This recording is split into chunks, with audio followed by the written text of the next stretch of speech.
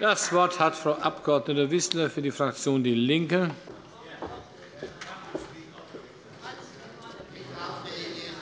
Herr Präsident, meine Damen und Herren! Es gibt wenige Behörden, die in den letzten Jahren so sehr für ihre eigene Abschaffung geworben haben wie die Landesämter und das Bundesamt für Verfassungsschutz. Das zeigt vor allem die Geschichte des NSU und die Rolle des sogenannten Verfassungsschutzes dabei. Rechte Strukturen wurden nicht bekämpft, Hinweisen nicht nachgegangen, und Im direkten Umfeld des NSU gab es sage und schreibe über 40 V-Leute. Mittlerweile wissen wir, dass führende Mitglieder der rechten Szene, darunter Straftäter, V-Leute waren. Der Chef des Thüringer Heimatschutzes, der deutsche Blood-and-Honor-Chef sowie führende Funktionäre von NPD und FAP. Meine Damen und Herren, der sogenannte Verfassungsschutz hat keine Sicherheitslücken. Er ist eine Sicherheitslücke im Kampf gegen Neonazis. Und deshalb gibt es auch völlig zu Recht eine breite und eine berechtigte Kritik an den Diensten. Aber das Hessische Landesamt für Verfassungsschutz, bei dem gab es noch einen massiven Stellenausbau unter Schwarz-Grün von 250 auf 390 Stellen, während andere Behörden Stellen abbauen müssen. Und heute beraten wir einen vorliegenden Gesetzentwurf für den Verfassungsschutz, der jetzt nach vielen Jahren Ankündigung endlich vorliegt. Meine Damen und Herren, die GRÜNEN haben ja auf ihrem Parteitag letztes Wochenende mehrheitlich gegen den Inhalt des Gesetzes gestimmt, und zwar völlig zu Recht. Wer Bürgerrechte verteidigen will, der muss diesen Gesetzentwurf ablehnen. Schon vor etwa zwei Jahren hat Schwarz-Grün einen Gesetzentwurf vorgestellt. und Dieser Gesetzentwurf war nicht einfach nur schlecht. Er war so schlecht, dass die eigene Expertenkommission ihn in Bausch und Bogen auseinandergenommen hat. Der Vorsitzende, Prof. Jentsch, immerhin prominentes CDU-Mitglied, sagte damals, der Entwurf sei verfassungswidrig. Jetzt, erst wenige Tage vor der Plenarwoche, kommen knapp 70 Seiten, vermutlich vom Landesamt für Verfassungsschutz selbst geschrieben. So liest es sich jedenfalls. Ich finde, alleine dieses Verfahren ist schon eine Unverschämtheit, wie Sie das hier wieder gemacht haben und das hier heute eingebracht haben, meine Damen und Herren. Und jetzt kommen wir zu dem Inhalt. Und was Sie da vorschlagen, das ist gruselig. Das ist gruselig. Bevor ich einige Punkte herausgreife, will ich feststellen, als LINKE bleiben wir dabei. Der Verfassungsschutz wird seinem Auftrag, die Verfassung zu schützen, nicht gerecht. Wenn offenkundig Hinweise auf Waffen und Sprengstoff und auf Untergrundstrukturen der Neonazis nicht nachgegangen wurde, wenn sie nicht weitergegeben wurden, wenn Akten verschwunden sind, V-Leute als Straftäter geschützt wurden und all diese Erkenntnisse dann nicht aufgeklärt werden, sondern zur Geheimsache erklärt werden, und zwar bis zum Jahr 2134, dann zeigt sich hier ganz deutlich, der Verfassungsschutz ist Teil des Problems und nicht Teil der Lösung. Jetzt will ich zu einzelnen Punkten des Gesetzentwurfs kommen. § 13 und 14. Hier steht zunächst, dass der Geheimdienst nur dann mit V-Leuten zusammenarbeiten darf, wenn die V-Leute nicht selbst Straftaten oder gar schwerste Straftaten begangen haben. Aber am Ende beider Absätze gestatten Sie der Behörde Ausnahmen. Also entscheidet das Landesamt einfach selber, ob es sich daran hält oder nicht, weil die Behördenleitung es eben auch anders entscheiden kann. Das heißt, das ganze V-Leute-System bleibt unangetastet. Und ich finde, das geht nicht. Wir müssen aufhören, Neonazis dafür zu bezahlen, dass sie Neonazis sind. Das ist eine der wichtigen Lehren. Und ich finde, wer die V-Männer des Verfassungsschutzes in den Vernehmungen eines Untersuchungsausschusses erlebt hat, der wird wohl kaum behaupten, dass von denen die Sicherheit unseres Landes abhängt. Schlimm wäre es, meine Damen und Herren. Das sind überzeugte Neonazis die das Geld der Behörde gerne nehmen. Das fließt zum Teil in den Aufbau der rechten Strukturen. Sie können doch nicht ernsthaft glauben, dass Ihnen diese Nazis offen und ehrlich erzählen, was sie wissen, dass die da offen und ehrlich berichten. Das ist doch absurd. Und noch viel schlimmer. Die Landesämter haben ja nicht nur Informationen der V-Leute abgeschöpft, sondern sie haben sie aktiv gesteuert. Das ist ein riesiges Problem, und deswegen muss Schluss sein mit diesem V-Leute-System. Das müsste als allererstes beendet werden. Und da frage ich, und da frage ich mich, warum die GRÜNEN das entgegen der eigenen Überzeugung, ihrer Programmatik und im Widerspruch zu ihrer Bundestagsfraktion so mittragen wollen. Nächster Punkt.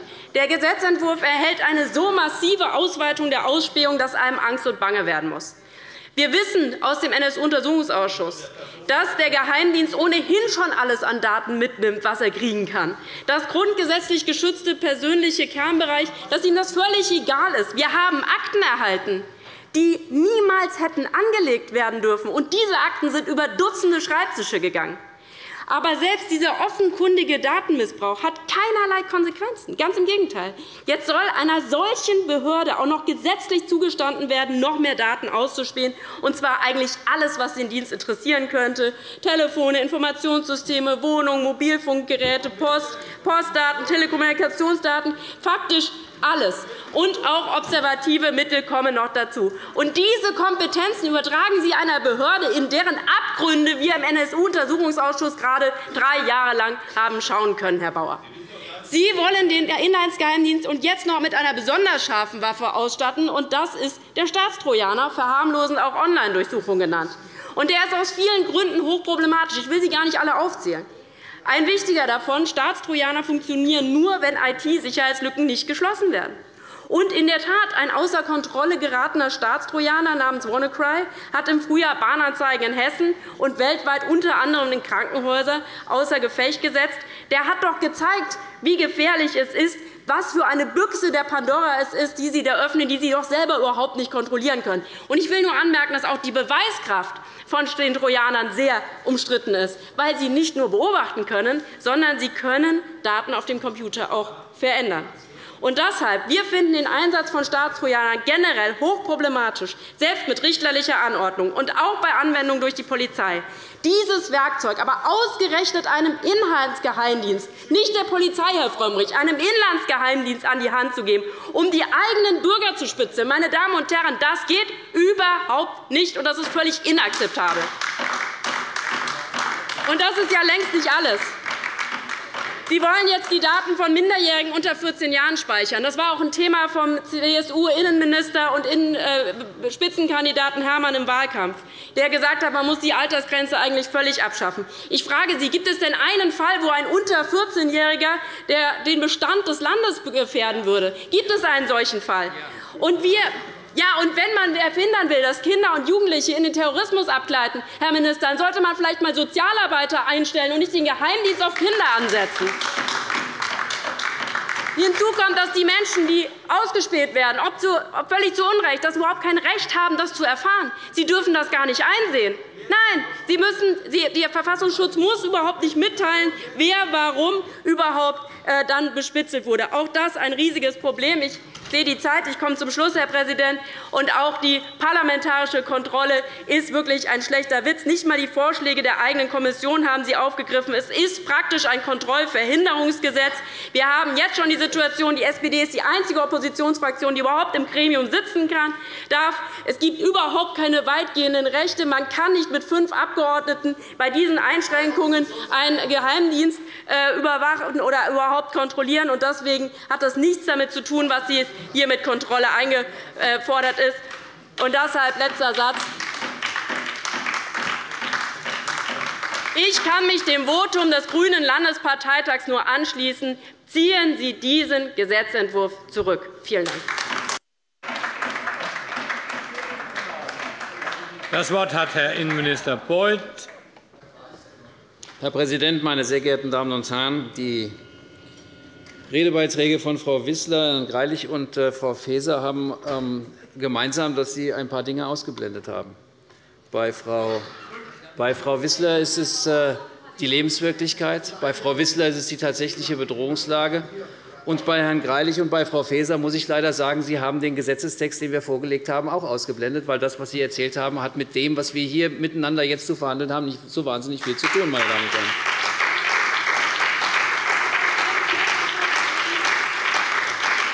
Ich bin mir ich bin mir nicht sicher, ob das sachgerecht ist. Das heißt, ich bin mir sicher, dass es nicht sachgerecht ist. Aber wo ich mir nicht sicher bin, ob auch unter dem Gesichtspunkt, dass man hier politisch durchaus miteinander streiten muss, ob eine solche Ausblendung der Tatsachen dann noch verantwortlich ist vor den Bürgerinnen und Bürgern hier in diesem Plenarsaal. Meine Damen und Herren. Die Bedrohungslage die Bedrohungslage ist nach wie vor groß, meine Damen und Herren und sie ist real. Kollege Bauer hat äh, vom heutigen Tag berichtet. Die Realität hat uns in Deutschland in den vergangenen Monaten, in den vergangenen Jahren ebenfalls eingeholt. Wir schauen nicht mehr nur auf Paris, auf Brüssel, sondern wir haben in Arnsberg, wir haben in Würzburg, wir haben in Berlin eigene Opfer von terroristischen Anschlägen zu beklagen. Und damit kann man sehen und erkennen, oder muss man leider sehen und erkennen, dass die Bedrohung tatsächlich real ist. Wir haben im Moment eine eher nachrichtendienstliche Lage als eine polizeiliche Lage, weil wir darauf angewiesen sind, in den Extremismusphänomenen mitzubekommen, was dort geschieht. Das gilt sowohl für den Rechtsextremismus, das gilt auch für den Linksextremismus, aber es gilt eben vor allen Dingen auch für den islamistischen Extremismus. Wir, haben sozusagen, äh, wir brauchen diese Informationsgewinne, um am Ende die Sicherheit der Bürgerinnen und Bürger durch unsere Sicherheitsbehörden, unter anderem das Landesamt für Verfassungsschutz, sicherstellen zu können. Meine Damen und Herren. Und dafür braucht es Werkzeuge. Die Polizei und das Landesamt für Verfassungsschutz braucht Werkzeuge, um genau diesen Auftrag, Sicherheit für Bürgerinnen und Bürger in diesem Lande zu gewährleisten, herstellen zu können. Und darum bitten wir mit diesem Gesetz und mit den Maßnahmen, die dort vorgesehen sind. Meine Damen und Herren.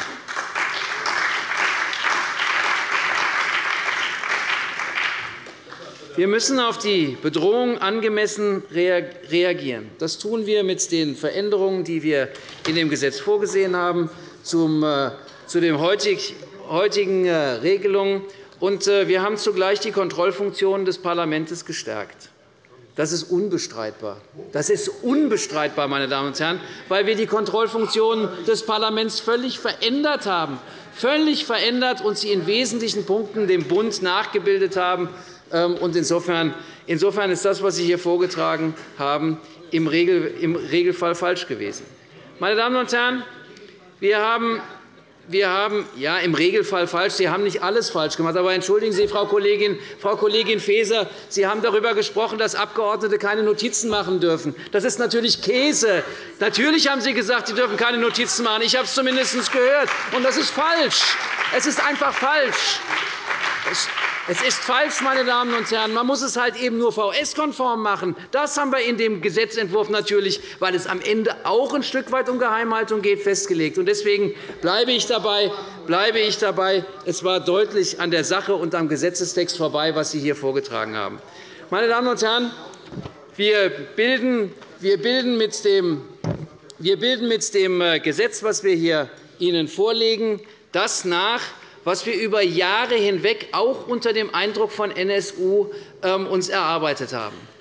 Angefangen von den 47 Handlungsempfehlungen, die der Untersuchungsausschuss im Deutschen Bundestag vorgelegt hat, mit der Kanter-Kommission, die wir hier bei uns in Hessen eingerichtet haben, weil wir sehr selbstkritisch mit all den Fragen, mit den furchtbaren Dingen umgegangen sind, wir haben damals schon gesagt, dass wir die Aus- und Fortbildung verändern müssen. Dafür haben wir uns der Akademie des Bundes angeschlossen. Wir waren die Ersten, die dort mitgemacht haben. Wir haben das Thema Öffentlichkeitsarbeit und Prävention aufgenommen. Wir haben das Thema Einsatz und Führung von V-Personen haben wir entsprechend damals schon erkannt als ein Problem. Die Zusammenarbeit zwischen Polizei und Verfassungsschutz war für uns schon ein entsprechendes Problem. Wir haben das Internet als Aufklärungsmittel ähm, am Ende verankert mit beim Verfassungsschutz. Wir haben eine Stärkung der Verbundarbeit ebenfalls gesehen im Verfassungsschutzverbund der Länder und des Bundes. Und wir haben darüber hinaus auch sehr selbstkritisch uns mit der Frage von Daten, von Akten und von der Kontrolle all dieser Verwaltungsvorgänge auseinandergesetzt. Meine Damen und Herren, wir sind dann hingegangen, wir sind da nicht stehen geblieben. Wir sind dann hingegangen und haben gesagt, wir setzen eine Expertenkommission daran, die überprüfen soll, was wir seit diesen Empfehlungen im Deutschen Bundestag alles verändert haben und wie sich die Polizei, wie sich die Justiz und wie sich das Landesamt auf diese entsprechenden ähm, Vorgaben eingestellt hat. Und schauen Sie in den Bericht, meine Damen und Herren. Schauen Sie in den Bericht hinein. Dort ist im Wesentlichen entweder ein Haken dran gemacht worden an die Fragen, oder es ist berichtet worden, dass wir auf einem sehr, sehr guten Weg in allen Bereichen sind. Meine Damen und Herren. Ich finde es nicht in Ordnung, wenn Sie das infrage stellen. Unsere Sicherheitsbehörden haben sich genau auf diese Frage eingestellt. Sie haben das aufgenommen, und Sie haben sich mit großer Mühe darum gekümmert, dass wir das entsprechend verbessert haben.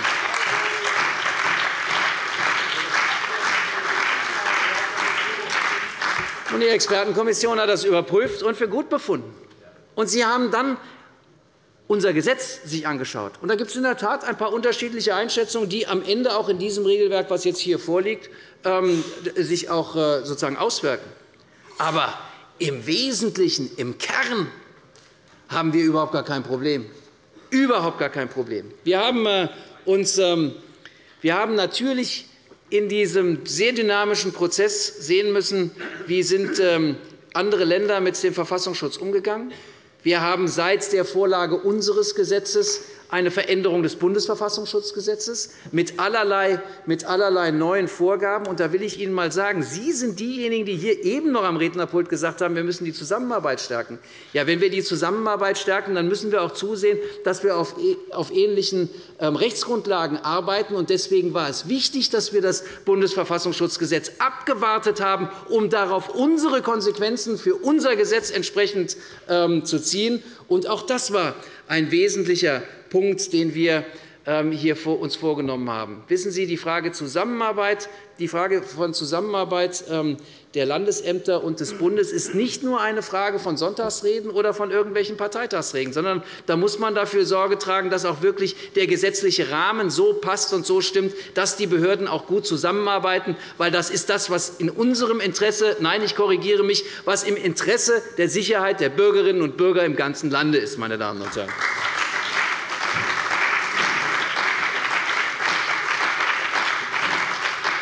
Und Herr Kollege Frömmrich hat das schon angedeutet. Es gab auch Rechtsprechung. Wir haben das Antiterrordateigesetz gehabt im Jahre 2013. Das Bundesverfassungsgericht hat sich dazu eingelassen. Das BKA-Gesetz ist das Verfassungsgericht im Jahr 2016 herangegangen. Und all das musste entsprechend in einen solchen Gesetzentwurf aufgenommen werden. Und, ähm, das haben wir gemacht. Das ist, nicht, das ist nach meiner Einschätzung ähm, äh, nicht kritikwürdig, sondern im Gegenteil. Das war erforderlich, dass wir das so tun.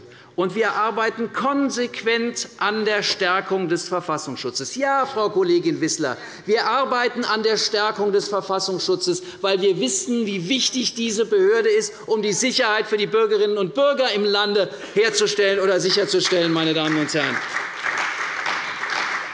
Wir haben die Stellen verbessert, wir haben die Mittel vermehrt, wir haben die Organisation geändert, um auf alle Phänomene optimal um alle Phänomene optimal bearbeiten zu können. Wir haben das Amt operativer gestaltet, mit großem Erfolg, wie Sie im Bericht des Landesamtes nachlesen können.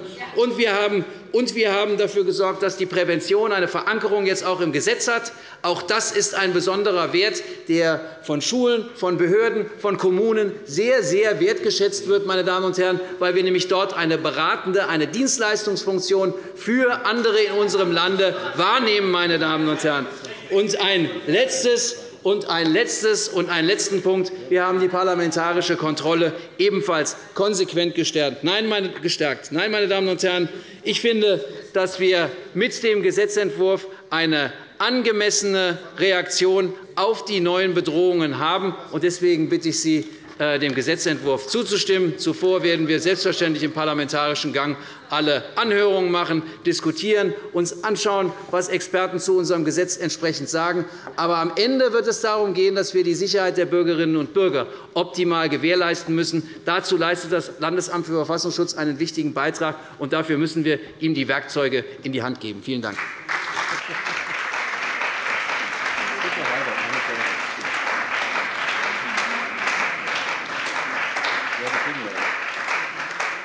Das Wort hat Frau Abg. Faeser, SPD-Fraktion.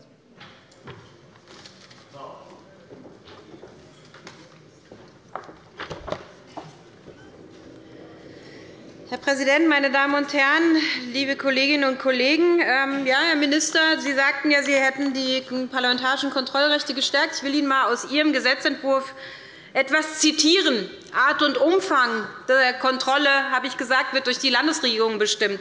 Ich zitiere § 3 Ihres Entwurfs Abs. 2. Zeit, Art und Umfang der Unterrichtung der Parlamentarischen Kontrollkommission werden unter Beachtung des notwendigen Schutzes der Quellen durch die politische Verantwortung der Landesregierung bestimmt. Wo ist denn da die Stärkung der parlamentarischen Kontrolle, Herr Minister?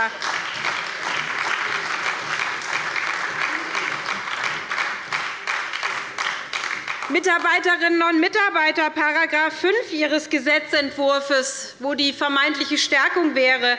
Die Mitglieder der Parlamentarischen Kontrollkommission haben das Recht zur Unterstützung ihrer Arbeit, je einen Mitarbeiterin oder einen Mitarbeiter Ihrer Fraktion, jetzt kommt es, ich zitiere, nach Anhörung der Landesregierung mit Zustimmung der Parlamentarischen Kontrollkommission zu benennen.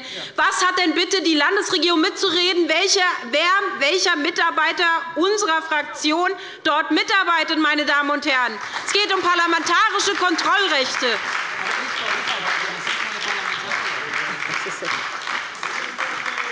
Ich lese Ihnen gerne auch noch Absatz 2 vor völlig anders. Äh, doch. Doch. Meine Damen und Herren, was äh, im Bundestagsgesetz ist es immer so, dass die Mitarbeiterinnen und Mitarbeiter mit dürfen in die parlamentarischen Kontrollgremien. Jetzt, ja, natürlich müssen die VS geprüft werden. Das habe ich gar nicht in Zweifel gestellt. Nein, nein, nein, nein, nein. Darum geht es nicht nach Anhörung der Landesregierung. Das ist etwas anderes als Geheimschutz geprüft, Herr Kollege Wagner. Da sollten Sie sich nicht einmischen. Ähm, das ist eine, nein, nein, nein, nein, das ist eine starke Unterscheidung, weil natürlich Geheimschutz geprüft. Dagegen haben wir nichts. Es geht um die Frage nach Anhörung der Landesregierung. Das ist der Unterschied. So, Herr Kollege Wagner, jetzt reden wir einmal vom Blick noch, wenn das hier wieder einmal gehen sollte. Ich bitte um mehr Ruhe, auch auf der Regierungsbank. Danke schön. Jetzt reden wir einmal von den Rechten des im Bund der Abgeordneten. Sie dürfen immer die Mitarbeiter ins Kontrollgremium mitnehmen. Jetzt lese ich Ihnen einmal vor, was Sie geregelt haben in Ihrem Entwurf. § 5 Abs. 2 Sie, die Mitarbeiterinnen, haben grundsätzlich keinen Zutritt zu den Sitzungen der Parlamentarischen Kontrollkommission. Die Parlamentarische Kontrollkommission kann im Einzelfall mit der Mehrheit von zwei Dritteln ihrer Mitglieder beschließen, dass Mitarbeiterinnen teilnehmen. Das ist doch keine Stärkung von parlamentarischer Kontrolle, meine Damen und Herren. Das ist das Gegenteil. Das sind Rechte der Landesregierung. Sie bestimmen Art und Umfang, wann und wie die Kontrolle stattfinden kann. Das ist genau so, wie es damals bei der NSU war, wie wir es herausgefunden haben im Untersuchungsausschuss. Sie verbessern gar nichts, sondern verstärken Ihre eigenen Kontrollrechte. Meine Damen und Herren.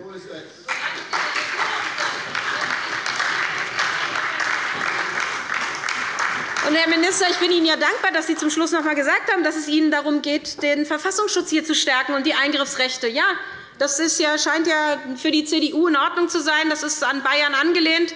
Ich appelliere da noch einmal an die GRÜNEN, dass Sie vielleicht die Erkenntnis dann auch haben, dass man auf Instrumentarien wie die Online-Durchsuchung, die einfach einen sehr starken Eingriff in Bürgerrechte darstellt, dass das rauskommt. So, ich bin Ihnen dankbar für den Hinweis weil es da nämlich im BKA-Gesetz um die Befugnisse der Polizei geht und gerade nicht um Nachrichtendienste. Sie müssen doch diese Unterschiede endlich zur Kenntnis nehmen. Und die sind doch maßgeblich. Und das ist genau das Problem auch auf Ihrem Parteitag gewesen. Jetzt obliegt es mir nicht, Herr Wagner. Sie sind völlig frei davon. Kriegen Sie auch nicht. Kriegen Sie auch nicht. Kriegen Sie nicht von mir.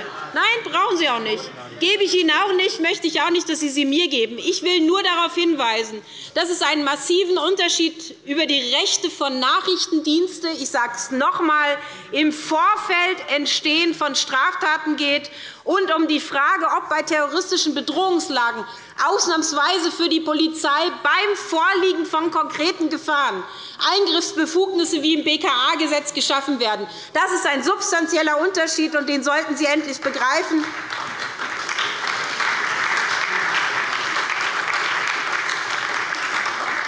Ich kann Ihnen nur die Empfehlung geben. Sie werden von jedem Verfassungsschutzrechtler diese Empfehlungen bekommen. In der Anhörung das prognostiziere ich schon.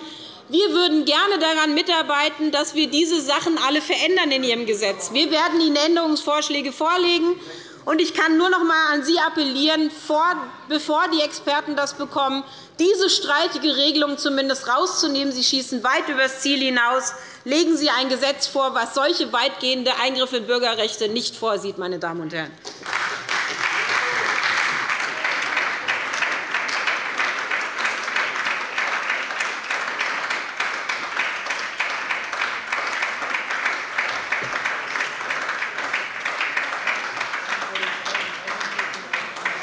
Meine Damen und Herren, zunächst einmal darf ich die Besucher auf der Tribüne bitten, es sind nicht mehr viele da, dass Sie umso mehr so äh, erkennen, es ist nicht erlaubt, dass Sie applaudieren. und auch ein bisschen mehr Ruhe bei wenigen. Trotz allem ist das störend für andere Besucher, die oben auf der Tribüne sitzen. Ich rufe auf Herrn Kollegen Greilich für die FDP-Fraktion. Herr Präsident, meine sehr verehrten Damen und Herren! Ich habe vorhin schon einmal die zeitlichen Abläufe geschildert. Das ist ein über drei Jahre andauerndes Trauerspiel, das Sie uns vorgeführt haben. Und, Herr Minister, ich muss sagen, durch Ihren Wortbeitrag ist es nicht besser geworden. Wenn Sie, wenn Sie uns wenn Sie uns vorwerfen, wir hätten Ihren Gesetzentwurf nicht gelesen, das ist ja letztlich Ihr Gesetzentwurf, nehme ich doch an, auch wenn er von der äh, Fraktion, den Fraktionen eingebracht worden ist, dann darf ich einmal sagen, in der Präambel, um einen Teil der Textexegese dann einmal vorzunehmen, beginnen Sie damit, der Verfassungsschutz dient dem Schutz der freiheitlich-demokratischen Grundordnung. Richtig, richtig, absolut richtig. Nur genau das ist das Thema, wo die Expertenkommission schon sehr viel dazu aufgeschrieben hat. So richtig wie das ist, so unvollständig ist es nämlich. Das Grundgesetz enthält eine Legaldefinition, und zwar in Art. 73 Abs. 1 Nr. 10 Grundgesetz. Da kann man auch einmal reingucken als Verfassungsminister. Danach dient der Verfassungsschutz dem Schutz der freiheitlich-demokratischen Grundordnung sowie dem Bestand und der Sicherheit des Bundes oder eines Landes.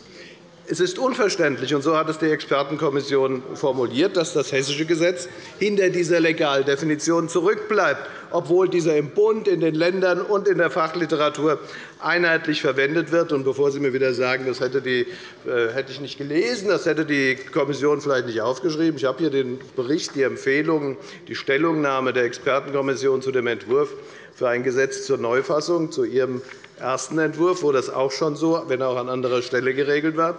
Dort heißt es sehr klar, der Erlass eigener vom Bundesrecht abweichender Gesetzesvorschriften begründet Zweifel an der Verfassungsmäßigkeit des Entwurfs.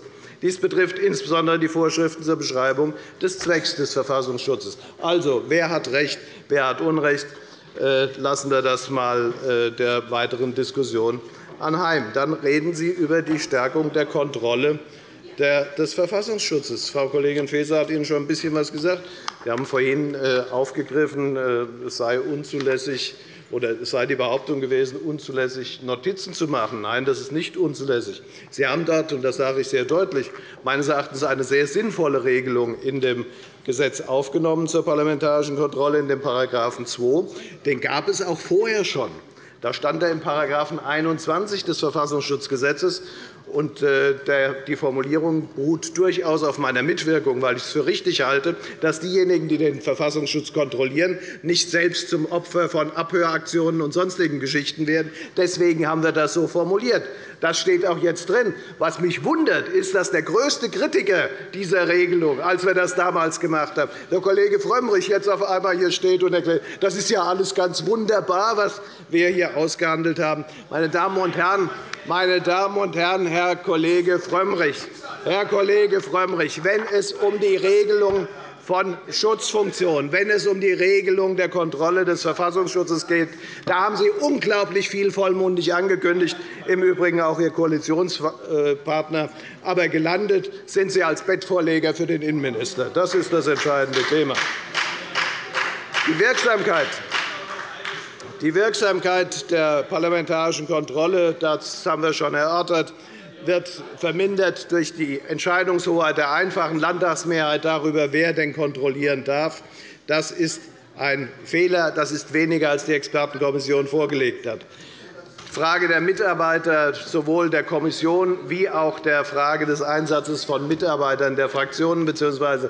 der Mitglieder der Kontrollkommission hat die Kollegin Faeser schon erwähnt. Auch da bleiben Sie weit, weit hinter den Vorschlägen der Expertenkommission zurück. Die Frage der Möglichkeit für die ansonsten ja sehr isoliert mit großem Vertrauensvorschuss des Parlaments agierenden Mitglieder der äh, Kontrollkommission sich auch einmal zu spiegeln, einmal ein Gespräch zu führen mit, Vertrauens, äh, mit Leuten, denen man besonders vertraut, nämlich z. B. mit den Fraktionsvorsitzenden über die Beratungsgegenstände der Parlamentarischen Kontrollkommission. Ausgeschlossen haben Sie nicht aufgenommen, diese Öffnung, die Kommission auch vorgeschlagen hat, die wir verlangt haben. Ich will noch zwei weitere Punkte nennen. Die Einführung eines Befragungsrechts der Mitarbeiter des Landesamtes für Verfassungsschutz direkt durch die Parlamentarische Kontrollkommission nicht umgesetzt. Wenn ich, und es gibt ein weiteres Thema, das ich für unabdingbar halte, nämlich die Einführung einer Whistleblower-Regelung für diejenigen, die es nicht kennen.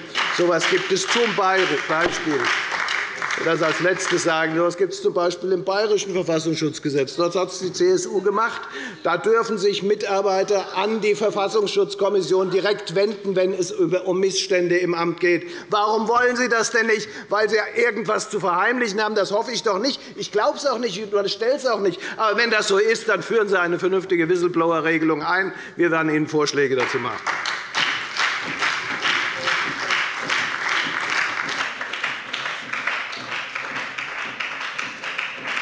Das Wort hat Frau Abg. Wissler für die Fraktion DIE LINKE.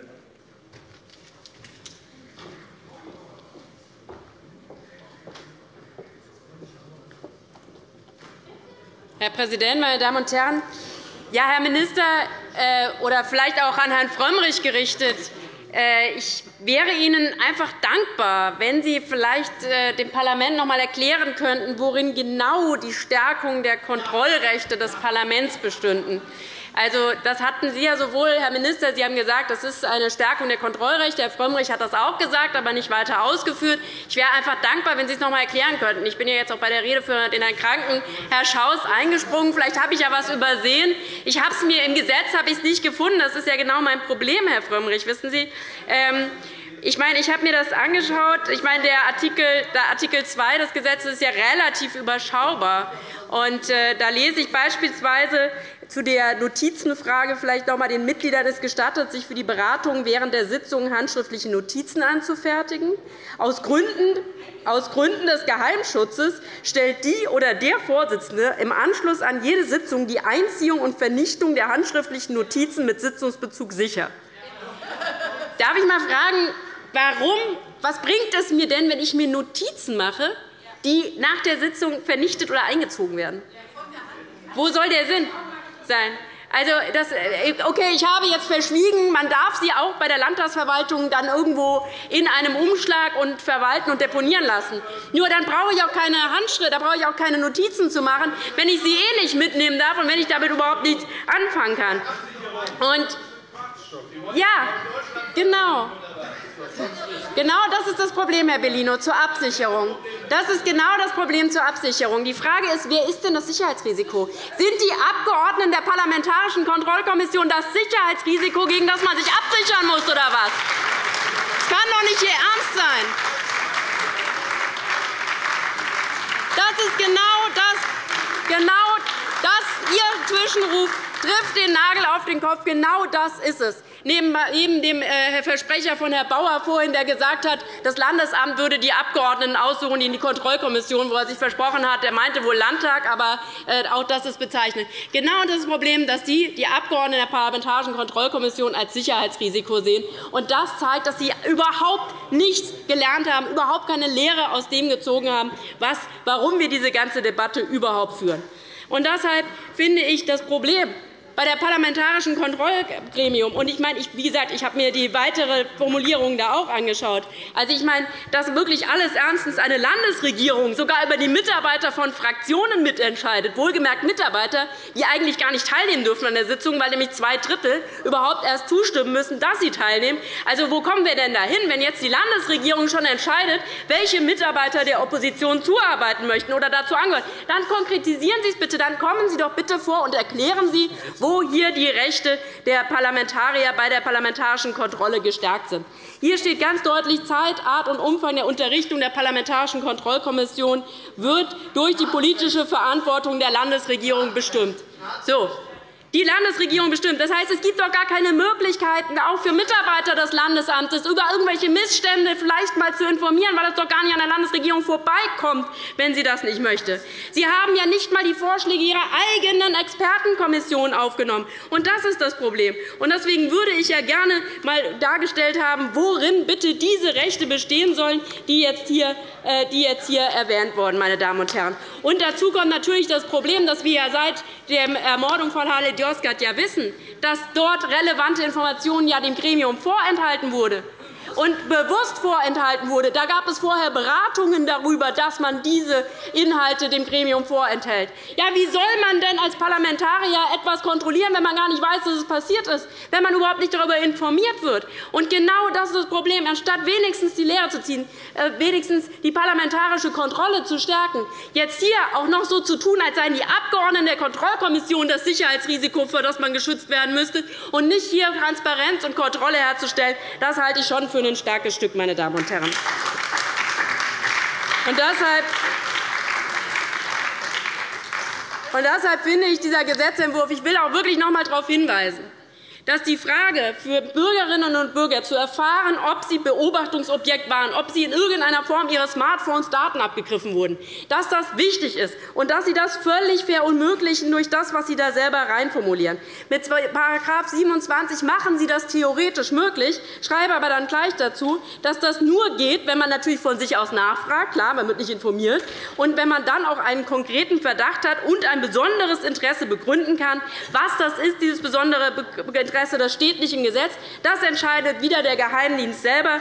Und Im Gesetz heißt es dann wörtlich, die Ablehnung der Auskunftserteilung bedarf keiner Begründung. Das heißt, Betroffene erfahren Bitte weder, zum Schluss, ich komme zum Schluss, warum ihre Daten gespeichert wurden oder auch nicht, und noch nicht einmal, warum sie dazu keine Auskunft erhalten. Und deswegen, diese Kompetenzen haben mit Rechtsstaatlichkeit nichts zu tun. Und ich finde, wir brauchen einen anderen Gesetzentwurf. Es kann nicht wahr sein, dass nach der ganzen Geschichte des NSU dieser Gesetzentwurf die Konsequenz aus diesem Versagen sein soll.